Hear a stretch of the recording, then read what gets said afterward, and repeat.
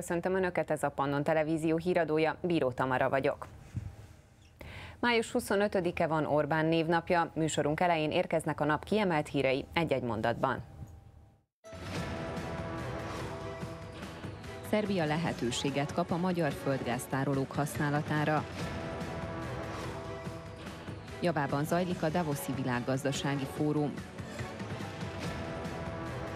Szombaton lesz a tizedik vajdasági vágta. A hétvégén tartják a Folk Music Festet Palicson.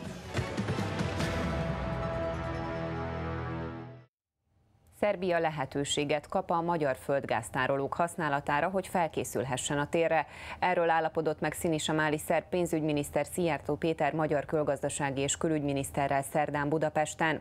A két politikus emellett arról is tárgyalt, hogy Szerbia és Magyarország minden körülmények között biztosítja egymás számára az energiahordozók tranzitját és hozzájárul egymás energiabiztonságának a garantálásához.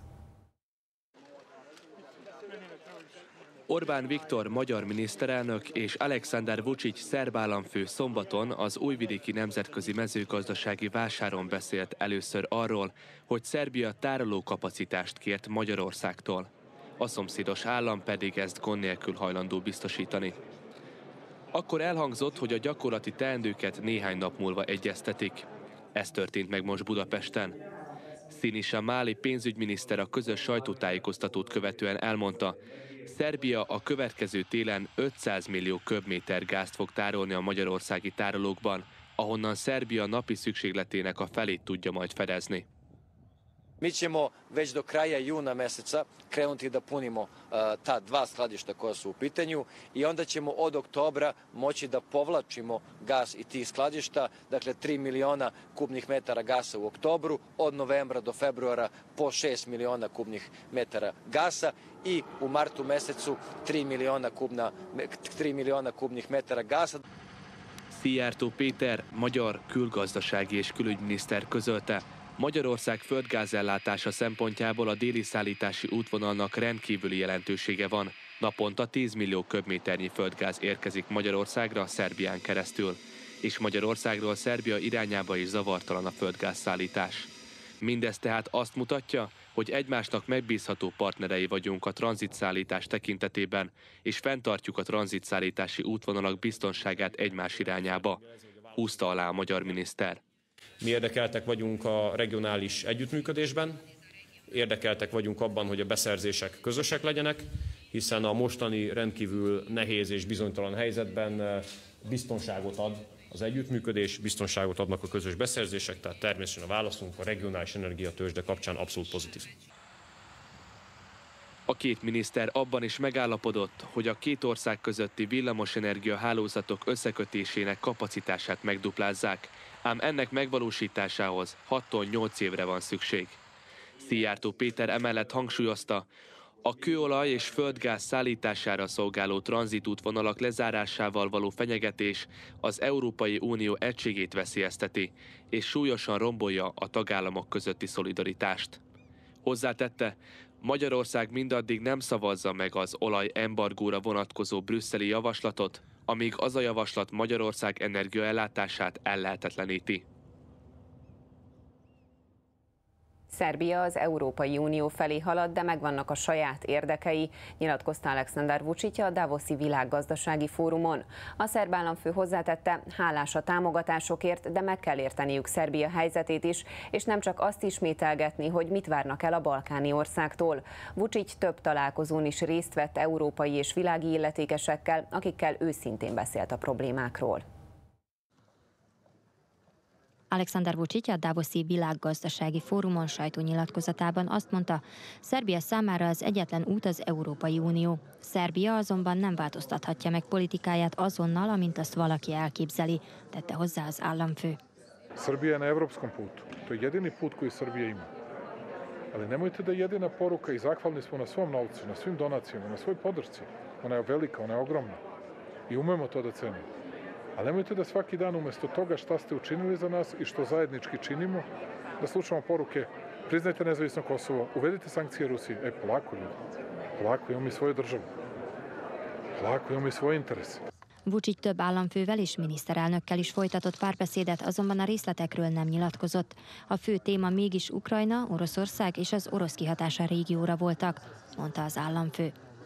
Mnogo, mnogo razgovarao i o tome kako i na koji način možemo da se postavimo u današnjem svetu, kako da rešavamo probleme, do toga da sam razgovarao sa američkom šeficom eksportno uvozno-izvozne banke, Exim banke, dakle gospođom Lewis, jer razgovaramo o velikom zajmu u budućnosti koji treba da uzmemo za značajne energetske projekte, dakle i za solarne projekte, a kasnije i za hidroprojekte. Vi sada znate kako je teško do novca doći. To mi je bio jedan odličan sastanak, kratak, konkretan, brzo smo ga završili. Alexander Vucic Montenegro miniszterelnökével is találkozott, akit megkért, hogy vegyen majd részt az Ohridi találkozón, ahol a nyitott Balkán kezdeményezésről lesz szó. 91. napja zajlik a háború Ukrajnában, egyre intenzívebben támadják Kelet-Ukrajnát az orosz egységek. Kijev szerint a háború most fordulóponthoz ért, Moszkva mindent megtesz, hogy elfoglalja a Donetszki és Luhanszki nagyvárosokat. Az oroszok legnagyobb sikere Mariupol elfoglalása. A haderő elkezdte a város megtisztítását és aknamentesítését. Közben továbbra is bombázzák az oroszok Szeverodonyeck városát. Három oldalról körbevette a haderő. Az információk szerint a város elhelyezkedése stratégiailag fontos az oroszoknak. Eközben súlyos támadás történt Zaporzsjában. Egy ember meghalt, többen megsérültek az orosz megszállók által végrehajtott ágyúzásban szerda reggel. Az előzetes adatok szerint 62 házban tettek kárt. A legsúlyosabb harci helyzet továbbra is Donbassban van. Az orosz hadsereg nem akarja feladni a Harkivban elfoglalt területeit, illetve a Herson és Zaporzsia körül megszállt területeket. Volodymyr Zelenszky ukrán elnök kijelentette, csak közvetlenül Vladimir Putyin orosz elnökkel hajlandó beszélni, nem pedig közvetítőn keresztül. Továbbá kiemelte, Ukrajna harcolni fog azért, hogy visszaszerezze teljes területét. Moszkvának vissza kell vonni a csapatait az invázió megkezdése előtti vonalra. Ez lehet az első lépés a tárgyalások felé, tette hozzá. A NATO nem akar katonai konfliktust Oroszországgal, és nem küld csapatokat Ukrajnába, jelentette ki a szövetség vezetője, Jens Stoltenberg. A kelet-európai háború miatt a világvezetői most a fegyverkezésre, valamint az élelmiszer és energiahelyzetre fókuszálnak. Ursula von der Leyen, az Európai Bizottság elnöke tárgyalásokat sürget Moszkvával, hogy lehetővé váljon az Ukrajnában rekett búza szállítása, mivel Oroszország blokkolta kikötőket. Magyarország ezután is segíteni fog Ukrajnának, írt a közösségi oldalán Szijjártó Péter, reagálva arra, hogy Volodymyr Zelenszky ukrán elnök bírálta Magyarország álláspontját, miszerint nem hajlandó támogatni az Oroszországgal szembeni olajembargót. A válaszunk az, hogy szívesen és ezután is segíteni fogunk, fogalmazott a magyar külgazdasági és külügyminiszter. A következő négy évben, tehát az ötödik Orbán kormányban is Potápi Árpád János töltheti be a miniszterelnökség nemzetpolitikáért felelős államtitkári posztját. Az erről szóló kinevezést az államtitkár ma vette át Novák Katalin államfő és Orbán Viktor miniszterelnök, valamint a kormány tagjai jelenlétében az egykori Kármelita Kolostorban. Potápi Árpád János 2014-től kezdve töltheti be ezt a funkciót, harmadszorra tölti be ezt a tisztséget. A rendőrség azonosította azt a férfit, aki kedden tüzet nyitott a texasi Uvaldi városában található Rob általános iskolában. A 18 éves Salvador Ramos legalább 19 diákot és két tanár tölt meg. Uvaldi polgármestere a Fox Newsnak elmondta, hogy a lövöldözés során Ramos elbarikádozta magát az általános iskolában. Az első hírek szerint a helyszínre érkező rendőrök lőtték le. A férfi a párharcban két rendőrt is eltalált, akik kisebb orvosi beavatkozások után elhagyhatják a kórházat áldozat, számolt be róla a Fox News. Ramos a lövöldözés előtt furcsa képeket osztott meg saját közösségi oldalán, majd a jelek szerint kegyetlen tervét egy ismerősével is megosztotta. Amerikában egyre nagyobb problémát okoznak az engedékeny fegyverviselési szabályok. Tíz nappal a keddi vérengzést megelőzően a New York állambeli Buffalo-ban tíz emberrel végzett egy fegyveres támadó.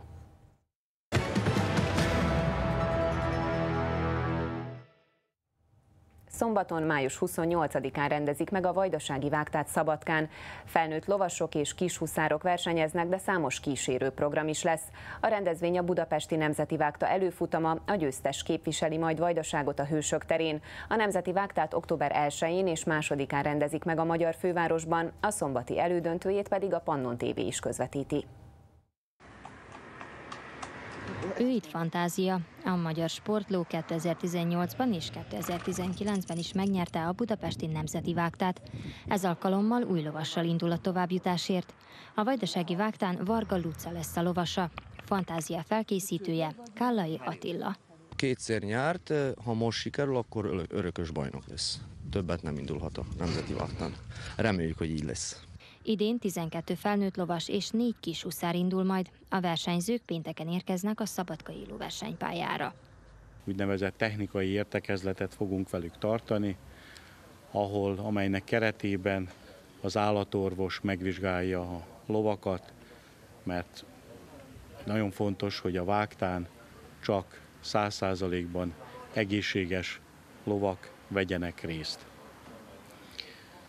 Szombaton délben pedig ezen a mesés, ebben a mesés környezetben, itt a Szabadkai lóversenypályán délben meg fognak szólalni a fanfárok, a Nemzeti Vágtának a már tíz éve megszokott hivatalos megnyitója, zenéje, az ünnepélyes megnyitót követően elkezdődnek a felnőtt lovasok futamai, majd a kisúszárok is a pályára lépnek.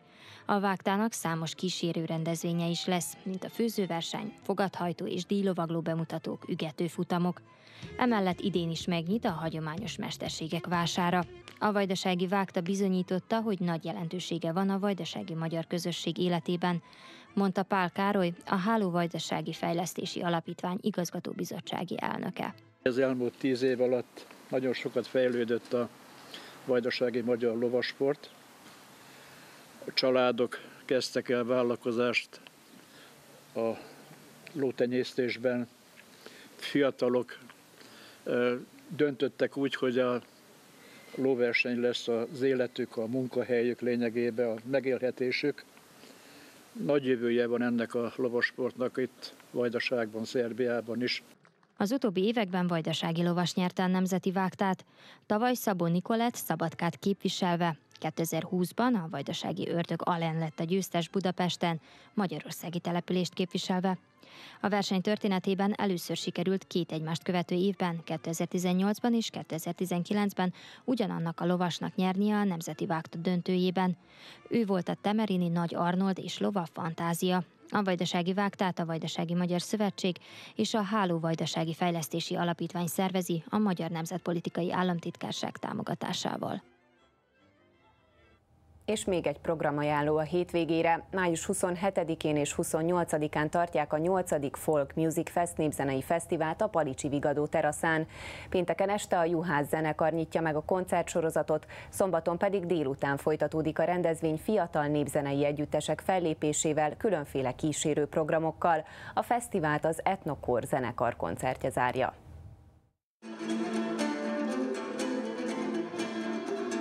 Bakos Árpád két évvel ezelőtt már fellépett a Folk Music Népzenei Fesztiválon.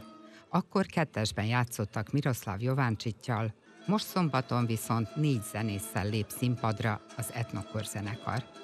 Vezetője kiemelte, Északbácska olyan választóvonalon van, ahol találkozik a közép-európai hangzás a balkánival, és ez tetten érhető a formáció zenéjében is.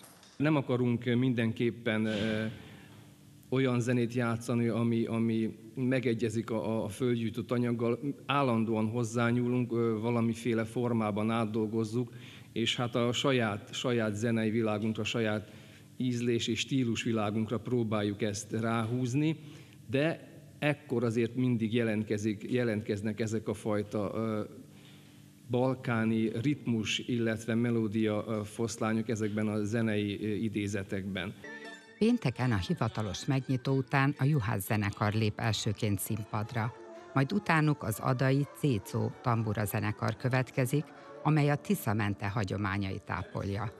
Muzsikájuk nem csak a magyar népzenét, hanem más ott élő népek zenéjét is közvetíti. A házigazda Juhász zenekarhoz ezúttal két népdalénekes is csatlakozik. Két évvel ezelőtt volt 20 éves a Juhász zenekar, és ehhez jött most hozzá két kiváló népdalénekes, Szabó Kocsi Zsuzsanna és Csizmadia Anna, akik ugye vajdasági származású énekesek, de mégis elsősorban Magyarországon futottak be kiváló népdalénekesi karriert, ugye Annát a, a felszállott a pávából, de hát rengeteg más műsorból, rengeteg más koncertről is ismerheti a közönség. Szabó Kocsi Zsuzsanna pedig a, a Csík zenekar frontemberével, Csík Jánossal játszik az utóbbi években. Szombaton délután kiváló vajdasági fiatal népzenei együttesek fognak fellépni. A szervező kiemelte, a Folk Music Festnek nagyon fontos küldetése, hogy felfedezze a fiatal tehetségeket. A kétnapos programsorozat alatt népművészeti kiállítás, kézműves foglalkozások, népzenei és néptánc foglalkozások is várják a látogatókat.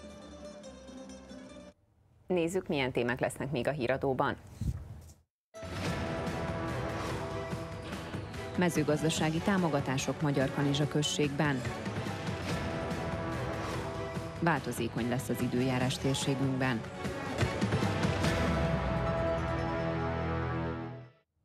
A híradót követően ma is lesz közügyek, Kozma Zoltán már a stúdióban várja Önöket. Szervusz, milyen témákkal készültetek a nézőknek? Köszöntöm Önöket, szia Tamara! A műsorban foglalkozunk a szerb-magyar gáz megállapodással, kapcsolunk Kárpátaljára, sajnos ezt a régiót is elérte a háború. Nyári hőség tombol a napokban térségünkben, már sokat a nyaralást tervezik, de vajon milyen pluszköltséget hozhat az elszabaduló infláció és az orosz-ukrán konfliktus? Ezekre a kérdésekre is keressük a választ a közügyekben, de vajdasági táborozási lehetőségekről is hallhatnak, de természetesen csak akkor, ha velünk tartanak. Zoli, köszönjük szépen! Az Európai Protestáns Magyar Szabad Egyetem konferenciája ma is folytatódott Szabadkán. A mai témák közt szerepeltek a kulturális áthatások, az együttélő kultúrák kölcsönhatása és ennek tapasztalatai a Kárpát-medencében.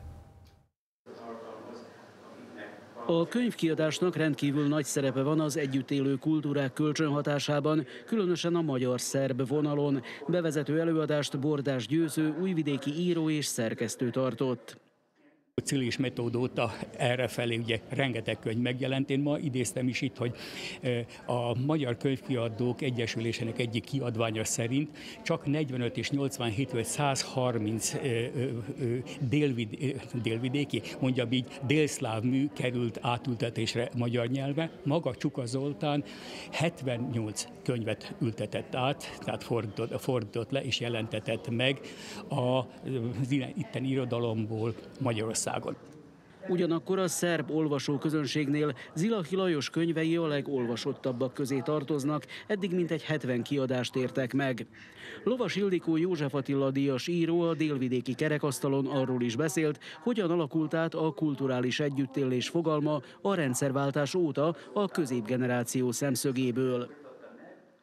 Mi beleszocializálódtunk Jugoszláviába, megéltük annak a szétesését, és még mindig benne vagyunk abban a varázslatban, ami ennek a pannon tájnak, vagy ennek a, ennek a régiónak a, a legnagyobb ereje, és kulturálisan is szerintem az egyik, az egyik leginkább kreatív erőként hat az alkotóra, az pedig a kulturális sokszínűség.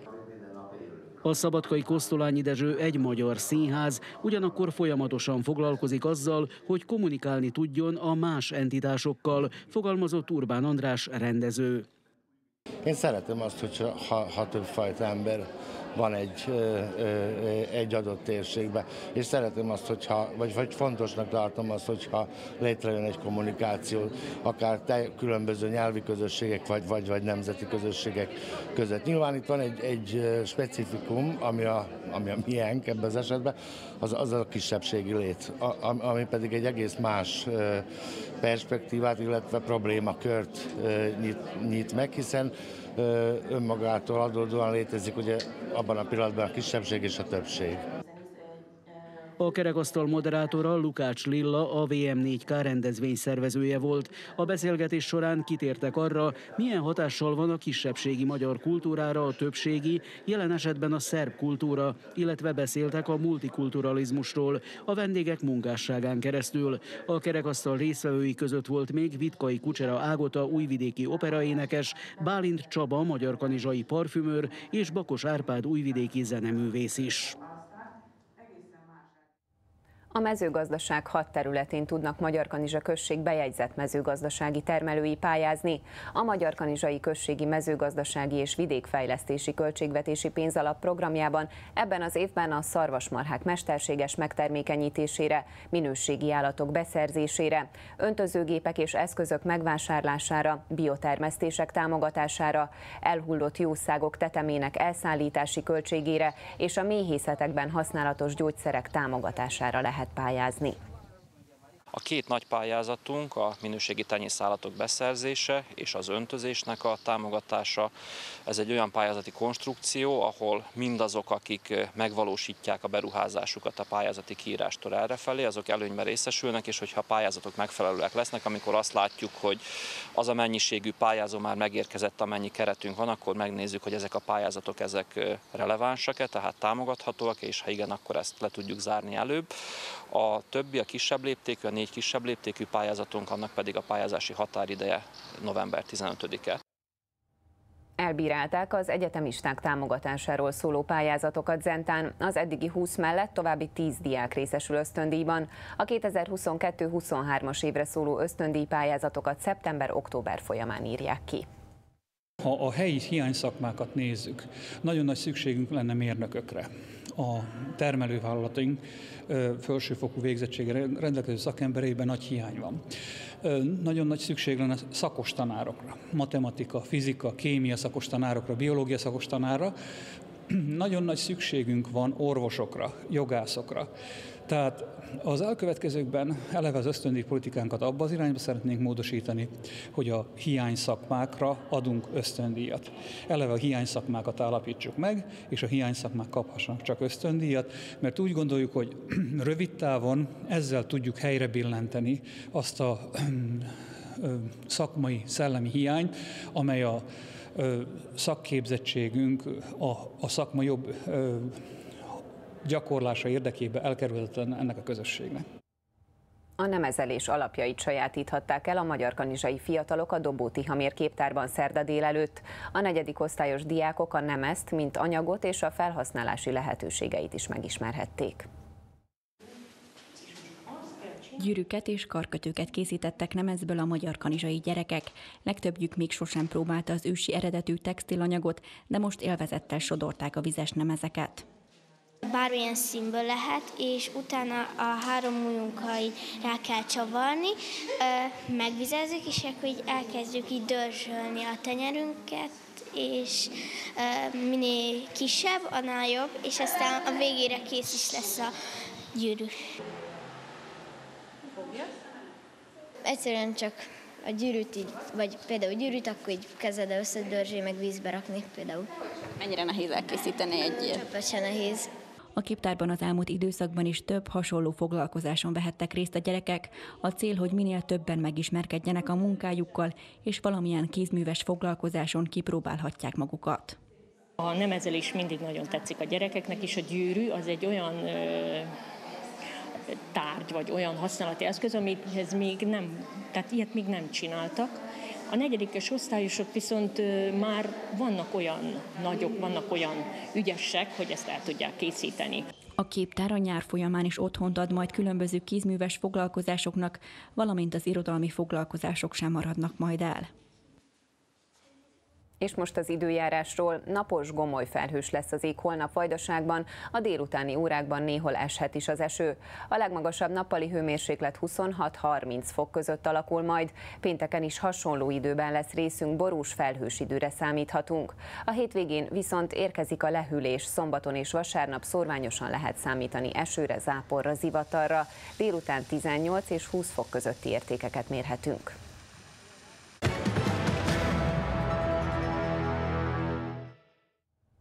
Jóvá hagyta a Chelsea eladását az angol labdarúgó Premier League az amerikai Todd Bowley vezette befektetői csoportnak. A brit kormány már szerdán reggel jelezte, kiadja az üzlet megkötéséhez szükséges engedélyt. A klub 4,25 milliárd fontért kerül az új tulajdonoshoz.